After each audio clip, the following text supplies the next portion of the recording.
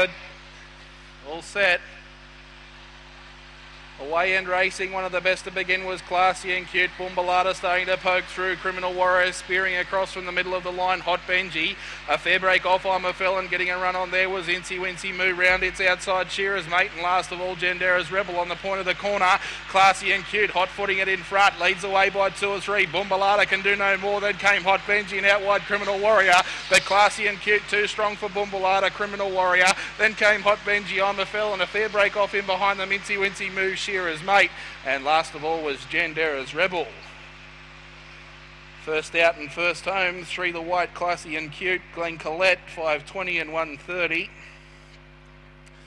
This Blue Brindle, Blue Brindle Bitch by uh, Run the Risk out of Fast Life, prepared at Binnaway by Glen Colette, has shown them a clean pair of paws and raced right away, defeating Bumbalata.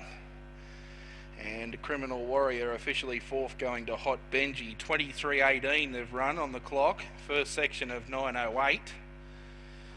9.08 the first split, a run home time of 14 and 10, 23 and 18 was the overall run.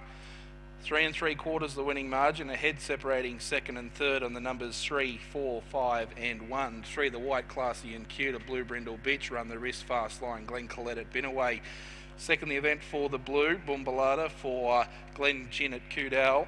And third place in going five, the yellow Criminal Warrior for Alan Proviset at Bathurst. Officially fourth going one, Hot Benji.